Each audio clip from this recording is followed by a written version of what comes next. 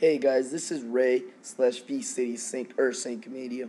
I just want to inform you that I am no longer a member of V City, as the leaders Classic and Illmatic left and joined the Control Base.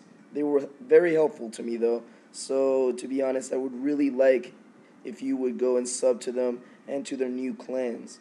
Thingies will will appear on the screen, so just clickety click on them and just sub. To as for me, I've been asked by numerous Go teams to edit for them, but I really don't see myself anywhere or in any team just yet.